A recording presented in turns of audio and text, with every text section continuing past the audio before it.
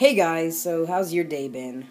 My day has sucked because I had to write a poem for school. It's based on the um, poem called If I Were in Charge of the World, and I just pretty much hate writing poetry. I'm not good at it, it's just not my thing.